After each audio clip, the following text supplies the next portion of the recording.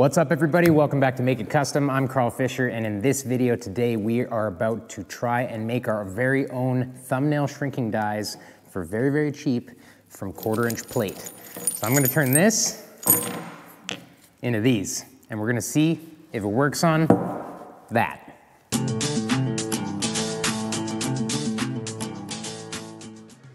All right, so the Northern California class coming up, it is gonna be a really fun filled weekend. We have designed this class so that basically we're gonna do a tool build the first day. Everybody's gonna take home one of these with the profiling dies. We're gonna build a set of dies there if we've got a little bit of time so that you guys can get a feel for how to make a good die set for a machine like this, as well as the second day we're gonna play on English wheel, power hammer, uh, and just do some hand metal shaping as well as a little bit of just kind of overall demonstrations. Like we're gonna do um, a little bit of metal bumping, like we're talking about uh, uh, hammer and dolly work. We're gonna do a little bit of heat shrinking and just whatever you guys want to know um, I'll try and accommodate as much as I can, but basically day one, tool build, day two, basic metal shaping class in Northern California. Everything is in the description. If you wanna get your tickets, they are 1500 bucks. I think that's a great deal, including the tool that you get to bring home, all built, ready to go, so you guys can do this too. Thanks a lot, everybody.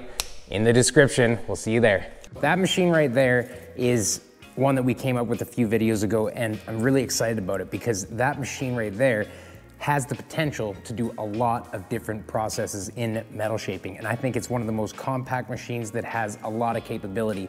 I've only shown so far how it does beads in curves and straights and how you can do profiles with it. If we can get that machine to do thumbnail shrinking as a power hammer, I mean, the only limitation is its size.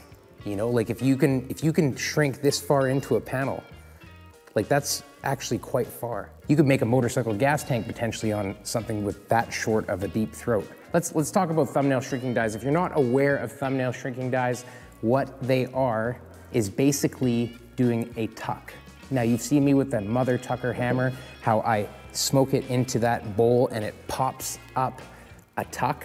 Now that wrinkle in the metal that you pop up, that is the material that gets pushed together to shrink. So you gotta think about sheet metal like it's clay. It does actually get pushed together.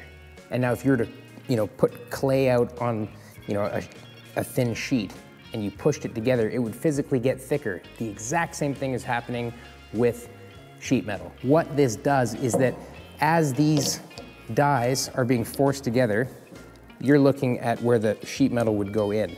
So as this is hammering the sheet metal, you can picture the sheet metal going into that and coming into a big wrinkle. And as that sheet metal gets pulled out, now this die is forcing the sheet metal back flat while that wrinkle still exists in the material. So it's creating this point that the material actually gets pushed thicker because there's all this material collected up here and that's hammering it flat.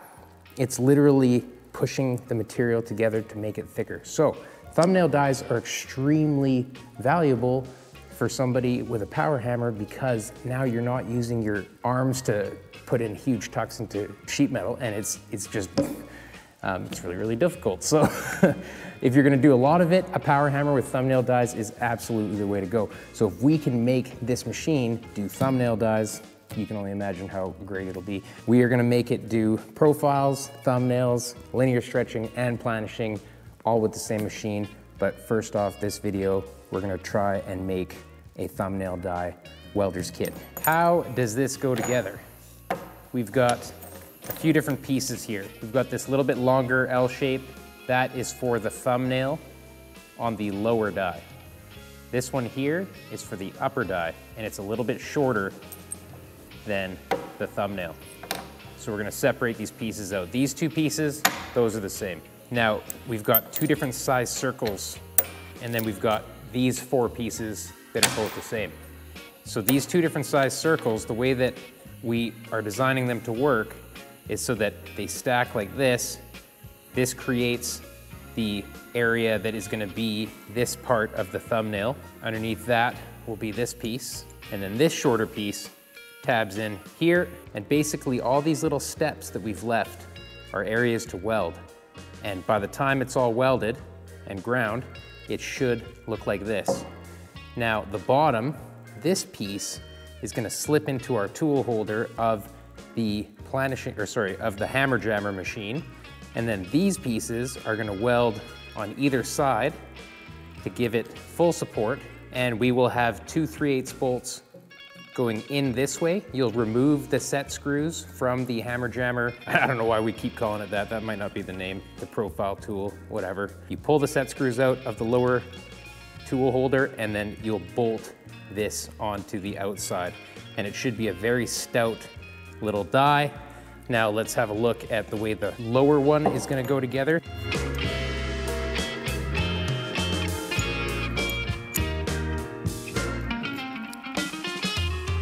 All right, so there is our lower shrinking die. Let me put it into perspective. Die sets like these, they cost some money because they're really, really good. Like these are nice, beautiful dies, but it doesn't mean that you need to spend crazy money on this stuff. The first dies that Christian Sosa made for himself literally were like a one inch bolt and the hex top, and he just welded a piece of round bar as the thumbnail okay? Those are his first dies. Um, these are actually his dies also. These are the ones that come with his machine, the Shape-O-Matic. Um, it was my first power hammer. I took his class way back in the day. I think it was like 2018. Maybe that's not way back in the day, six years ago. Uh, I took his class and it changed my life with metal shaping because I learned not only how metal shaping works, like what I was talking to you guys before about uh, thumbnail shrinking and that type of thing, but I also learned that you do not need to spend insane amounts of money to get into this trade. And, uh, and that's what I'm trying to do. That's kind of like one of my motivations with sort of everything because I've always not had excess amounts of money to buy the big expensive tools. That's why I got the Shape-O-Matic as my first tool. It was a builder's kit. You can kind of see how some of my inspiration and mentorship came from Christian. So his first die set by me telling you that it's, you know, a bolt with some round bar, I'm also telling you that it's not special hardened steel. And why that's important is because one of my misconceptions, and I think it's a popular misconception, is that you need hardened steel dies for everything. And yes, they are nice, and yes, they are the highest quality, like the planishing hammer that we produce. Um, those dies are hardened to 60 Rockwell. They're, they're, you know, they're meant to last a lifetime, but that doesn't mean that you can't have something that works well for a hobby without being you know, a million dollars. You can use all kinds of stuff as dollies. Like it doesn't have to be all that crazy special stuff that you might be um, convincing yourself is the reason why you can't get started. So I'm here to tell you that you can get started for inexpensive amounts of money and that's part of the motivation behind this tool. So let's crack into welding these together because it's relatively thick material if you're trying to do this at home and you have a 110 volt welder. Um, I think that's okay. You'll probably still be totally fine, but it would help if you just preheated the material a little bit if you're finding that you're not getting enough penetration. A lot of 10 volt welders, they say they can weld up to quarter inch, and yes, they can, and I think that they won't have a problem with this, but to truly get as much dig as you want, um, I find it's easy to uh, just add a little bit of heat first, preheat the material and, and weld it up. Like I said, this is totally experimental. I have not done this before.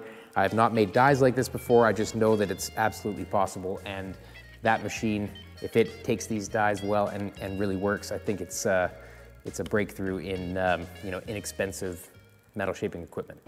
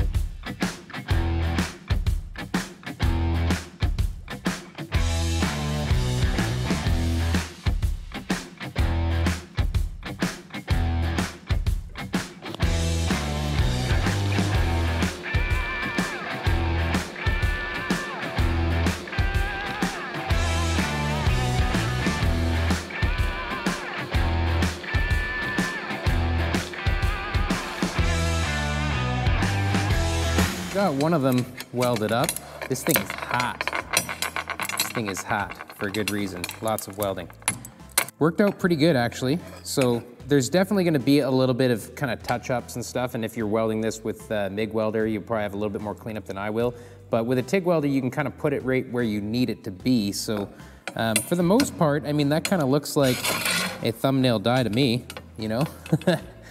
there you go. And you could harden this. Like I'm not an expert on hardening, so you could maybe do a little bit of YouTube exploring on that, but you could dunk this in some water or oil at a certain temperature and it would get harder. For our purposes, this is gonna be fine. Like this is gonna work. With this done, the next step is putting these on, but these pieces, because they're gonna bolt onto our tool holder, I would like to put all these pieces together and make sure that this flat plane is lined up to this flat plane when it comes time for the dies to meet in the machine. So I don't want to actually put these on until the dies are both in the machine. And if you're wondering, I'm just 200 amps DC on my TIG welder, no pulse, no nothing, just DC 200 amps. I'm pulsing with my foot a little bit just to control because there is a lot of heat in some areas and because the whole thing starts to get hotter, you wanna roll off on the pedal a little bit with this type of welding. My uh, cubic feet per minute, some guys ask for gas flow, so between 25 and 40 when I use a gas lens.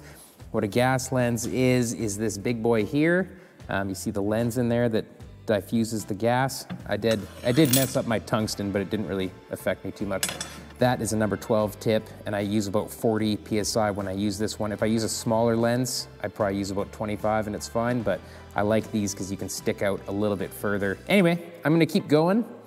Um, I probably will have to build up on here and I'll probably have to uh, weld a little bit more here. That will be the finesse in working the dies. We might even be continuing to work these dies after they're already mounted in the machine just to make them perfect because if you do have success in making sure that the flat spots come directly flat when they come together in the machine, um, that is what's going to beautifully finish those tucks into uh, flat metal again. And then after this process, it's not gonna be perfect. Like thumbnail shrinking does not leave a perfect finish. You would want to put it in the English wheel after to smooth it out or use a planishing hammer.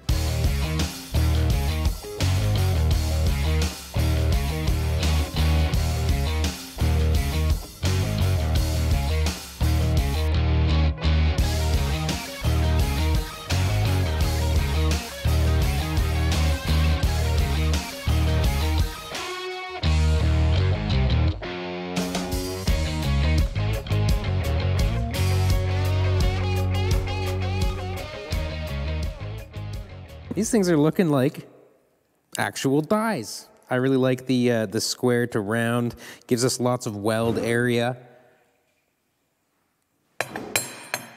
Oh, who's this? Who's this? Who's at the door here? So I walked into the shop and I What's up, Big Dan? How's it going, buddy? pretty good about you. Pretty good. For everybody that doesn't know, this is Big Dan. Getter Dan is his nickname because he gets it done. That's his truck in the corner we've been kind of tinkering away on. You gonna get, get some done today? Gotcha. Right on, right on. Dan's just getting his motor pulled up. The uh, this front cross member is a little bit interfering with the motor. So what he's gonna do is notch underneath here. So uh, we're just gonna help him pull the motor right now. Coming forward. Okay, tip, uh, tip your forks back.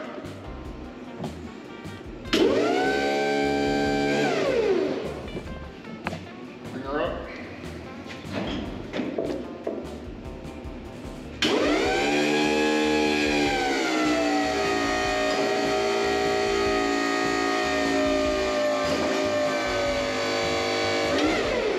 Oh, your door, your door's okay.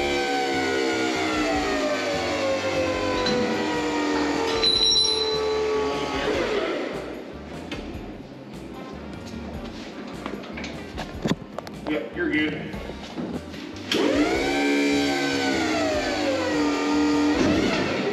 Okay, I feel like we're pretty much out there.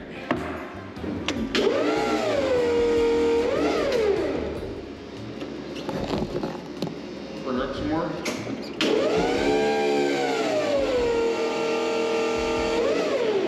A little more?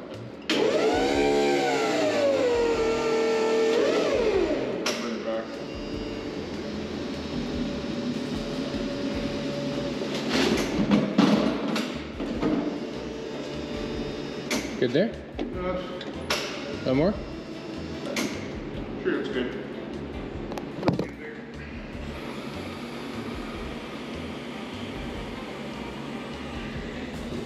Look at that, no oil drip either.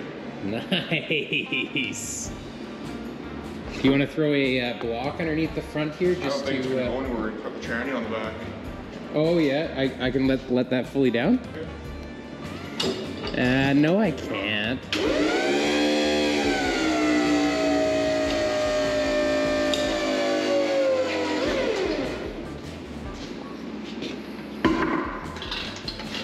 We have we have to do everything perpendicular to the lines of the shop, okay? Has to be it has to be Yeah, you got something under there? Okay, going down. Perfect.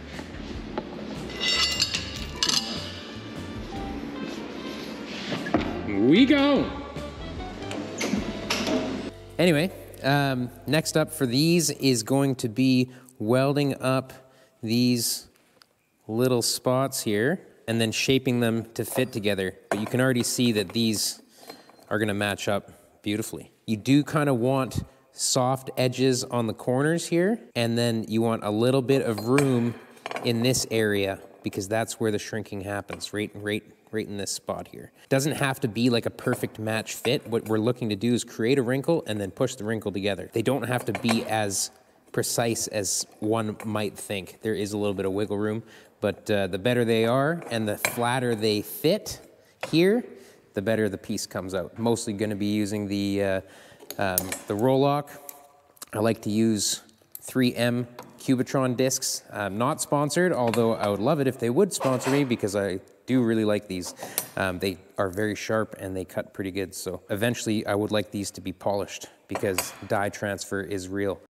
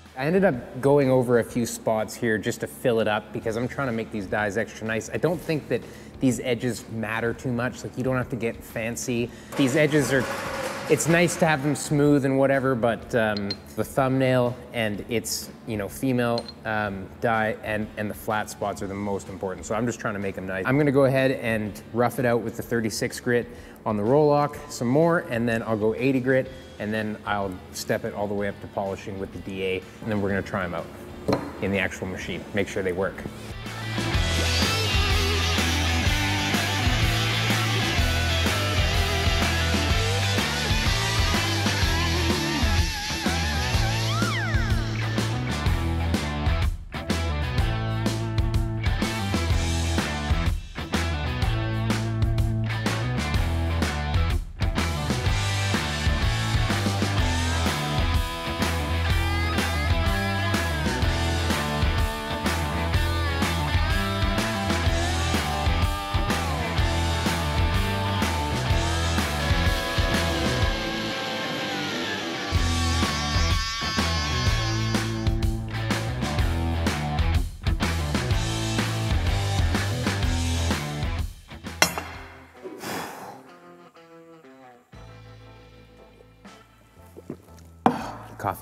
Pretty happy with the way these dies are coming out. The way that we shaped these stacks of plate really makes it so that a lot of weld can happen right in those little corner joints that we created by the stack. Everything that we ground, that's all just like barely grinding the weld. You know, if you are doing it with TIG, you can kind of just exactly put the material where it needs to be. This next step is gonna be where it, I mean, these dies could work right now, but it's gonna really beat the material up. So um, we're probably going to have to try them out and maybe refine them a little bit. I've made a couple sets of these dies before, so I do know kind of where it needs to have some clearance.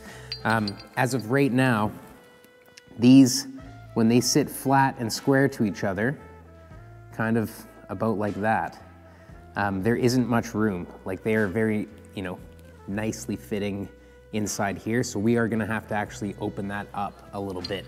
It needs to have a little bit of room for that wrinkle to kind of become flat. So there needs to be somewhat of a void right in this spot, right here. If you can imagine the wrinkle coming in and going from, like I guess the transition from the large tuck wrinkle to flat, it needs a little bit of room in there to uh, allow that to happen. I did try to leave these flat areas flat.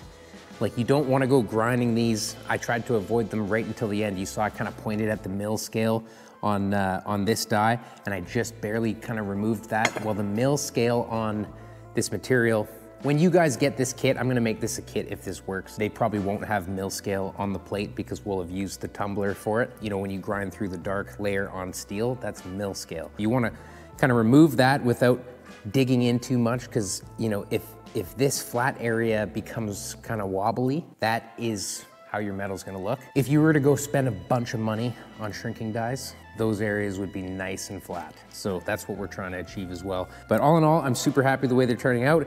I'm really excited to give them a try and see if they actually work with that little planishing hammer. Once I am clearanced and kind of ready, I will jump to the DA and start stepping up the grits. And then uh, I might even give a little bit of a polish, just a little bit before we give it a shot. So something that's going on here right now is that uh, I, I thought I was kind of good to go, but there still isn't enough clearance. If I try and line these dies flat, I can't, I can't push this one back to line up fully. It's actually interfering on here. So I either have to grind this down or I have to clearance this a little bit more. So I'm gonna go ahead and clearance this a little bit more with my knurled bit. This is just one of those carbide bits on a uh, quarter inch angle, or sorry, a quarter inch die grinder. So uh, I'm just gonna hog this out a little bit more. But one thing that um, I'm doing is I'm kind of creating a soft edge here. I find that this edge likes to be kind of soft because um, it allows the metal to come in and out a little bit easier because it's not a sharp spot. So that's another spot that I leave a little bit of room on the top die. So right now we're just gonna carve this out a little bit more and make sure that this edge is rounded nice. And then we'll go to the DA and get ready for polish.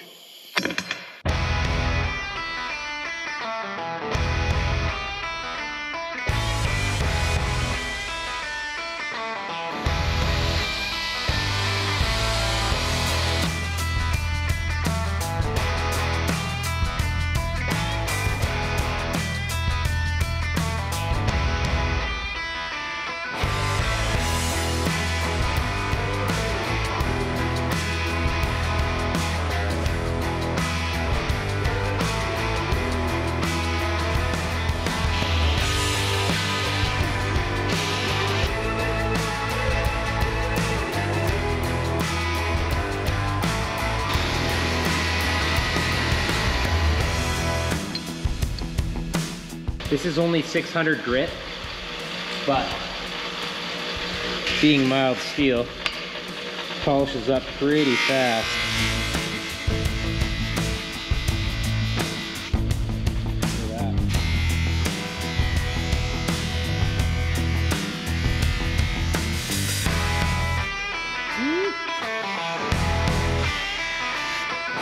There's a couple of marks still in it, but 100% good enough, as we say. How's that? Like I say, not perfect, but pretty cool that that used to be just a bunch of plates. If you do all the polishing yourself, like if you're going to a chrome shop, they're gonna have to do this before they chrome. That's where you spend all your money. So if you prep your stuff and and polish it, um, you're really gonna save a lot of money.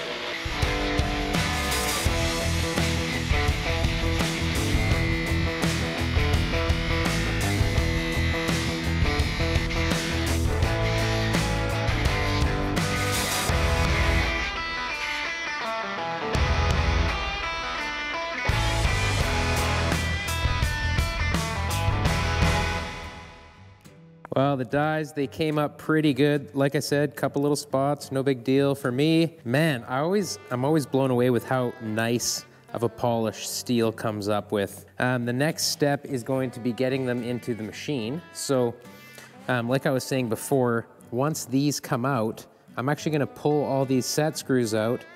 This die is gonna go in the bottom. The other one's gonna go in the top. And then we're gonna put those tabs these tabs here are actually gonna go on the outside and we're gonna bolt into these threads. That's why there's actually holes in the center one, is to allow the bolt to, uh, to kind of stick through a little bit. So I've gotta make some short bolts. Um, I don't have any, I don't think, so I've gotta probably make some, like cut down some bolts for this. Uh, four, well, one, two, three, four, five, six, seven, eight. Eight bolts, man, that's gonna be a pain. One thing I'm gonna do is probably put a little spacer, maybe a piece of cardboard or something in between these. I just don't want it to be super tight. Like I don't want it to be crazy hard to get off. So um, that's something I'm thinking about. The only thing that I'm thinking about that might have a problem with these dies and that machine, and this is my only worry, is that perhaps this thumbnail is a little bit too aggressive for the power that that has. But I'm pretty confident that it's pretty powerful, so that's, that's the only thing. Otherwise, I'm like 85.686% sure. Uh, I don't know if you guys saw this before, but this is like a little bracket that we made just for the two inch hitch tube so that it mounts on all this stuff. I really like this design. You can buy hitch tube anywhere, and then anything that's two inches by two inches fits in it.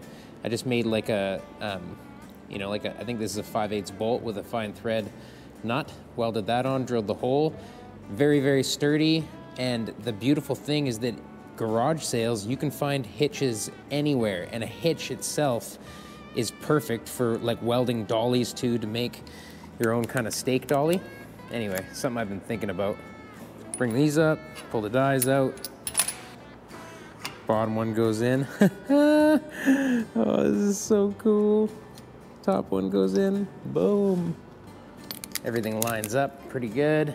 Can kind of see how those bolt holes in there line up. There's a little bit of adjustment front to back.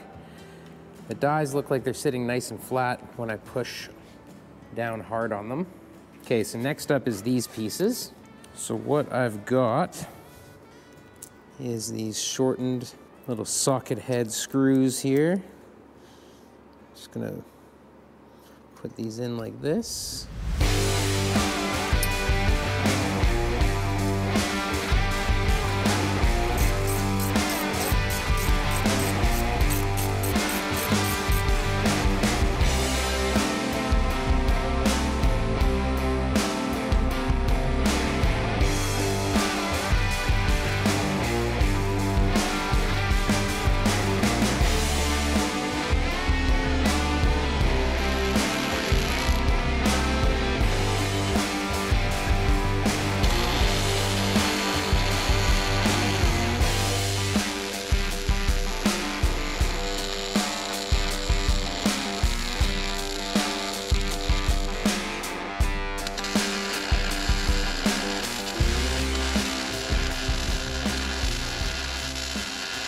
Welded on there. Everything's very beefy. It's almost like a GoPro mount, three quarter inch bars holding it in. I think it should be good. We're all hooked up. It's just whether or not it's powerful enough. So I've got my piece of sheet metal here, just a little piece of 18 gauge, made a circle. Um, if we can make that into a bowl, I'm gonna call this a success. Very excited. This is it. Let's do it.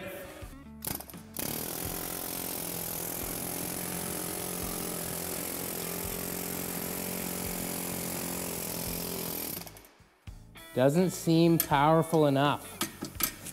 It did put a bit of a peak in it, but feels like it needs a little bit more oomph. Maybe we need a little less space in here.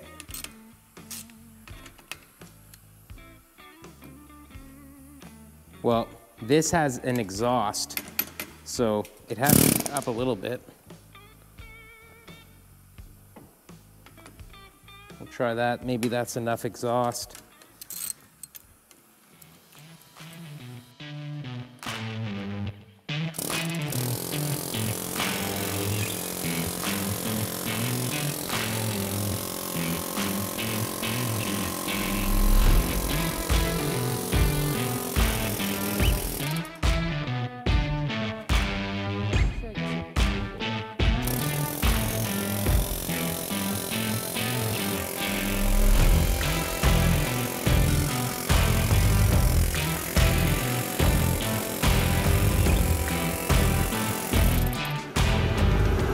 Definitely working.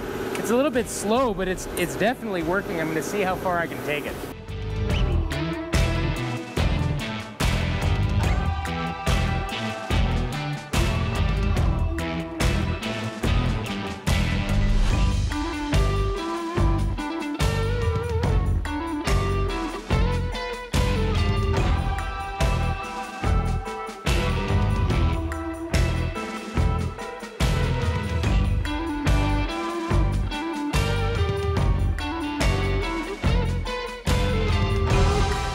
I'm actually pretty proud of this little machine because it does shrink. It made a bowl. I told you I would consider that a success, and I truly do consider it a success because this little machine can power shrink. I think those dies are a little ambitious, but this is 18 gauge steel. If this were aluminum, it would do it a lot easier. Um, if you were doing 20 gauge steel, it would be a lot easier. But the fact that it has enough power to do 18 gauge steel, I'm calling that a win. Um, we are gonna start finding maybe a little bit of weak points on here. Perhaps this needs to be full welded. Like the shock of an air hammer just beating on steel is quite a lot. So uh, I do expect that maybe we'll see some cracking here and there because I think that these flush welds, well actually I already see a tiny crack happening. Um, those flush welds should have been probably dug out. Just like certain things need to be a little bit beefier. But we are winning. We are winning because this is the world's cheapest power hammer, in my opinion, as far as if you're willing to do it yourself and uh, do a builder's kit. I am going to offer um, just those same plates that I used to make this die because I believe it's like as long as you do it the same way that I did it, it's very straightforward and it does work. So those will be on japhandskustoms.com as long, um, along with this tool. This will definitely do planishing. It'll definitely do linear stretching. We are gonna do some of that in the future. Um, but for now, we are probably going to jump back on the Roadster for a little bit. Um, I know I want to do another day on the ramp truck. I'm gonna, I'd love to jump back on the cars. I know this is, this stuff is really exciting to me. I love working on tools and I appreciate all of you sticking around for this. If it's not quite what you're into, we will do some more stuff on the cars. Um, like I said before, there's a lot of changes coming for 2024 for Make It Kustom. We're getting a little bit of help with editing. We're getting um, to be a little bit more, uh, hopefully, better with our time so that I can get you two videos a week. That's my goal for 2024 is to start pumping out a few more videos of content and uh, that way we can kind of explore the tool thing and we can keep doing cars. We've got a lot of plans this year for doing different metal shaping classes. So we've got a Northern California one coming up, details to follow. Um, we've got one, I'm trying to work with Jordan on one in Australia while I'm at the Australian Street Rod Federation Nationals in Perth. Um, I'll be there at the end of March, 25th, 26th, I believe it is. Very excited for that, so see me there if you're in Australia and gonna go to that show. Um, but yeah, while I'm visiting Jordan, we perhaps will do a metal shaping class in Australia. So definitely throw it in the comments if you're interested in doing that. Um, I thought about doing a similar class to what I've got going in Northern California where everybody is gonna build this tool one of the days and take it home with them. Um, and then the next day will be all kind of just metal shaping basics. We're gonna go over uh, shrinking, stretching, forming, that kind of thing. um, yeah, thanks a lot, everybody. Really appreciate your support in uh, all these kind of changes going on with the channel. We've got a Patreon account going where we've got um, a little bit more happening there. Nothing's gonna change on this channel. In fact, this channel is hopefully gonna get a couple videos a week instead of just one, but there's also a bunch of extra stuff on Patreon. Um, we're kind of posting photos, little behind the scenes clips there. We've got uh, DXF files for you guys on Patreon as well. Um, there's a chat community started called Dis, like a Discord server chat community where everybody can just go hang out and talk to each other about metal shaping and Make It Kustom, maybe help each other out as well. Um, so lots of stuff coming in 2024. I appreciate every one of you because this truly is a dream job for me. And we will catch you on the next video. Thanks a lot, everybody. Bye-bye.